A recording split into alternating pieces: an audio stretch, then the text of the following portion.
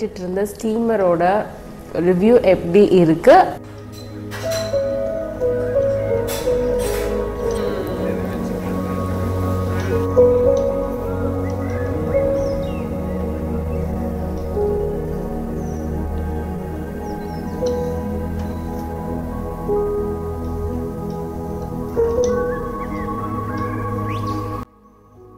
hi this is Akshita welcome back to our channel வீடியோக்குள்ளே போகிறதுக்கு முன்னாடி நான் எந்த ப்ராடக்ட் வாங்கினாலும் நல்லாவே யோசிச்சு குவாலிட்டியானது அது எனக்கு தேவைப்படுமா இல்லையான்னு பார்த்துட்டு பர்ச்சேஸ் பண்ணி தான் நான் வந்துட்டு ரிவ்யூ ஷேர் பண்ணுறேன் முக்கியமாக இதெல்லாம் ஸ்பான்சர்டு ப்ராடக்ட்ஸ் கிடையவே கிடையாது.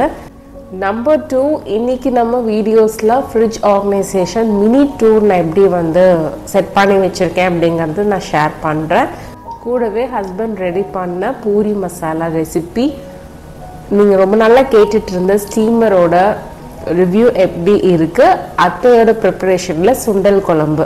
இது எல்லாமே இந்த வீடியோவில் நம்ம பார்க்க போகிறோம் ஸோ லெட்ஸ் கெட் ஸ்டார்டட் அமேசானில் ஃபஸ்ட் டைம் இந்த மாதிரி டிரான்ஸ்பரண்ட் ஃபைபர் கண்டெய்னர் வாங்கியிருந்தேன். இது வந்து உங்களுக்கு பேண்ட்ரி ஆர்கனைசேஷனில் ஹெல்ப்ஃபுல்லாக இருக்கும்.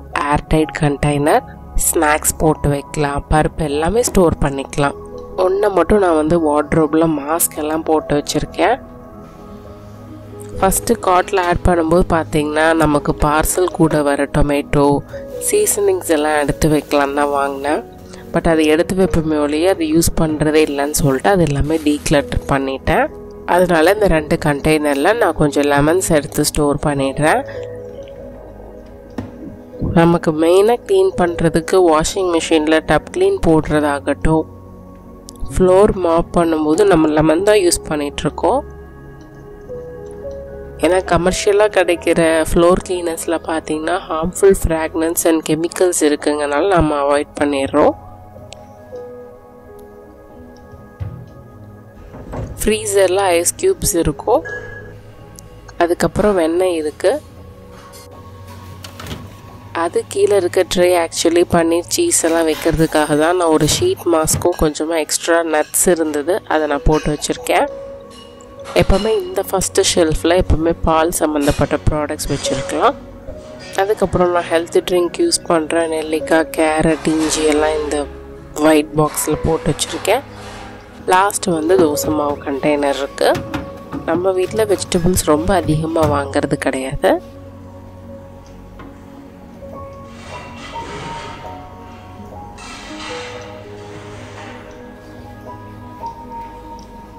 இந்த வெஜிடபிள் ஸ்டோர் பண்ணுற ஆர்கனைசர் பார்த்தீங்கன்னா ஆல்ரெடி நான் சம்மர் வ்ளாகில் ஷேர் பண்ணியிருப்பேன். இது செம்ம ஹெல்ப்ஃபுல்லாகவே இருக்குது ஃப்ரிட்ஜில் வெண்ணெய் போட்டு வைக்கிறதுக்கு அதுக்கப்புறம் எக்ஸ் கூட நீங்கள் ஸ்டோர் பண்ணிக்கலாம்.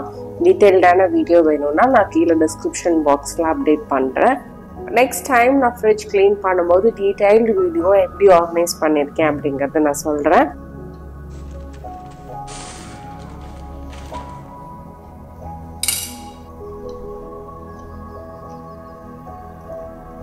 அடுத்தது பெட்ஷீட்ஸ் ப்ரிஃபர் பண்ணும்போது அது காட்டன் மெட்டீரியல்ல ஈஸியாக வாஷ் பண்ற மாதிரி லைட் வெயிட்டா மோர் லைட் கலர்ஸ்ல நீங்க பர்ச்சேஸ் பண்ணிக்கோங்க. நான் வாங்கின பெட்ஷீட்டோட லிங்க் கீழே டிஸ்கிரிப்ஷன் பாக்ஸ்ல இருக்கு.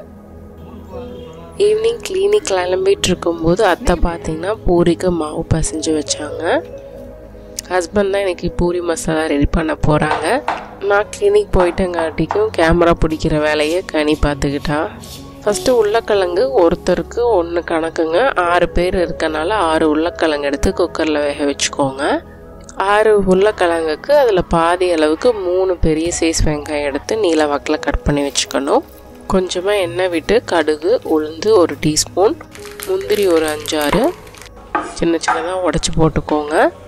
இது கூட நாலஞ்சு பச்சை மிளகா ரெண்டு கொத்து கருவேப்பிலை எல்லாம் பொரிஞ்சது இப்போ பெரிய வெங்காயத்தை சேர்த்துக்கலாம்.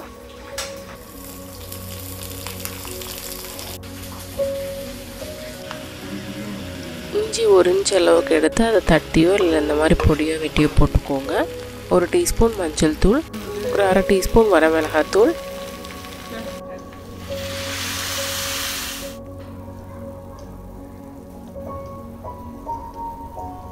ஒரு கப் அளவுக்கு தண்ணி விட்டு தேவையான அளவு உப்பு சேர்த்துக்கலாம். இப்போது நம்ம உருளைக்கிழங்க தோல் உரித்து மசிச்சு இது கூட ஆட் பண்ணிக்கணும். லைட்டாக புளிப்பு டேஸ்ட் இருந்தால் சூப்பராக இருக்கும். ஒரே ஒரு பெரிய தக்காளி மட்டும் இது கூட ஆட் பண்ணி கொதி வந்ததும் ஆஃப் பண்ணிடலாம்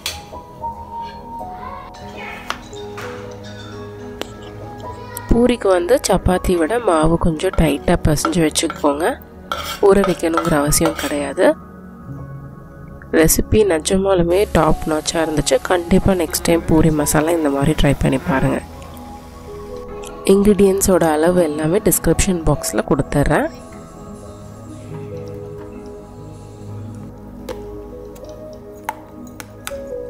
நெக்ஸ்ட் டே மார்னிங் அஞ்சு மணிக்கு நாங்கள் லஞ்ச் பாக்ஸ் ப்ரிப்ரேஷன் ஸ்டார்ட் பண்ணிட்டோம். ஒரு கப் அளவுக்கு வெள்ளை கொண்ட கடலையை நைட்டே ஊற வச்சாச்சு. புது பாத்திரம்லாம் ஸ்டிக்கர் வந்து அந்த கம் வந்து மெல்ட் ஆகிறதுக்கு அடுப்பில் வச்சிங்கன்னா லேசாக உருகிரும். அப்படியே நம்ம ஈஸியாக உரிச்சு எடுத்துடலாம். இந்த ஸ்டீமர் பற்றி கேட்டிருந்தீங்க. இது வந்து டுவெண்ட்டி ஃபோர் சென்டிமீட்டர் டயாமீட்டர் இதோட லிங்க்கும் கீழே கொடுக்குறேன். இதோட கீழ் ரேக்கில் பார்த்தீங்கன்னா நம்ம ஊற வச்ச கொண்டக்கடலை கூட ரெண்டு உருளைக்கிழங்க வெட்டி போட்டு வேக வச்சிடலாம். மேல் ரேக்கில் நம்ம முட்டைக்கோஸ் பொரியலுக்காக கொஞ்சமாக முட்டைக்கோஸும் வேக வைக்கிறோம். இப்போ சுண்டல் கிரேவிக்கு மசாலா வறுத்து ரெடி பண்ணணும். ஒரு கை அளவுக்கு சின்ன வெங்காயம் ரெண்டு வரமிளகா கொஞ்சமாக எண்ணெய் விட்டு ரெண்டு கொத்து கருவேப்பிலை. இந்த கருவேப்பிலை தாங்க சூப்பரான ஃப்ளேவர் கொடுக்கும். கண்டிப்பாக ஆட் பண்ணிக்கோங்க. ஒரு சின்ன துண்டு கட்டி பெருங்காயம் இல்லைன்னா அரை டீஸ்பூன் அளவுக்கு பெருங்காயத்தூள் ஆட் பண்ணிக்கோங்க. ஒரு இன்ச் அளவுக்கு இஞ்சி ஒரு பூண்டு பல் பத்து ரெண்டு பெரிய தக்காளி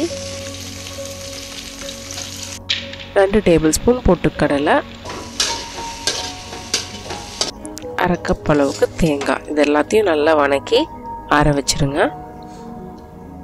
இந்த மசாலாவை மிக்சியில் அரைக்கும் போது ஒரு அரை டீஸ்பூன் அளவுக்கு மஞ்சள் தூள் ரெண்டு டீஸ்பூன் கொத்தமல்லி தூள் போட்டு தேவையான அளவு தண்ணி விட்டு அரைச்சிக்கலாம்.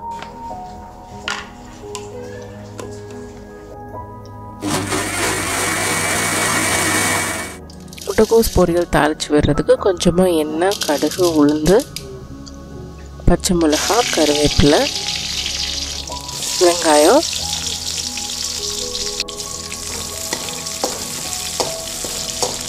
நம்ம ஸ்டீமரில் வேக வச்சுருந்த முட்டைக்கோஸ் போட்டு தேவையான அளவு உப்பு போட்டு அடுப்பை ஆஃப் பண்ணிவிட்டு உங்களுக்கு தேவைப்பட்டால் கொஞ்சமாக தேங்காய் போட்டு மிக்ஸ் பண்ணி இறக்கிடுங்க.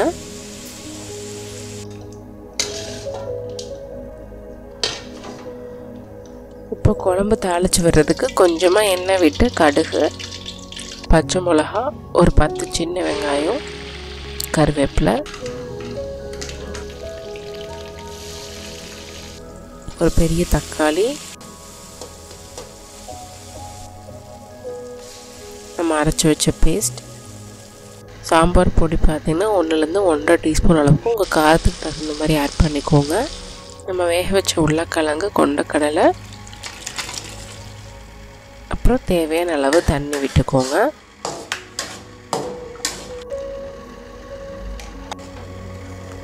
அடுத்தது உப்பு சேர்த்துட்டு லைட்டாக எண்ணெய் பிரிஞ்சு வர அளவுக்கு நல்லா கொதிக்க விடணும்.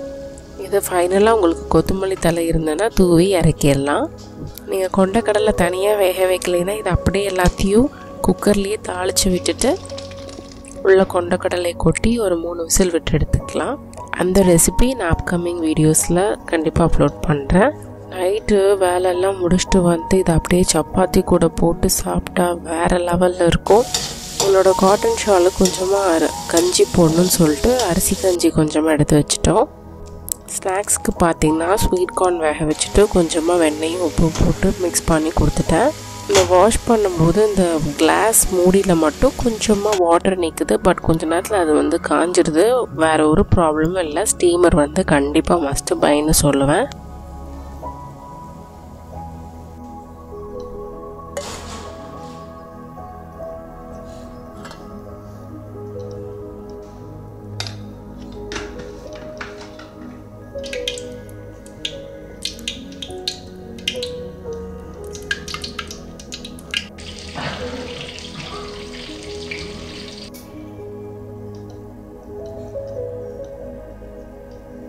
ஸோ கிச்சனுக்கு வந்து நான் வாங்கின லைனர்லாம் கொஞ்சம் வந்து மீதி இருக்கு. அது வந்து நம்ம ஹாலில் இருக்க ஷெல்ஃபை வந்து நான் ஆர்கனைஸ் பண்ணுவேன். அந்த வீடியோ நெக்ஸ்ட் vlogல வரும். இந்த வீடியோ உங்கள் சிஸ்டர் இல்லை ஃப்ரெண்ட் ஃபேமிலி மெம்பர் யாருக்காவது ஹெல்ப்ஃபுல்லாக இருக்கும்னு நினச்சிங்கன்னா அவங்களுக்கு கண்டிப்பாக ஷேர் பண்ணுங்கள் நெக்ஸ்ட் வீடியோவோட நோட்டிஃபிகேஷன் தெரிஞ்சுக்கிறதுக்கு நம்ம சேனல் சப்ஸ்கிரைப் பண்ணிக்குவோம் இன்னொரு இன்ட்ரெஸ்டிங்கான வீடியோவில் பார்க்கலாம். டில் தென் பை பை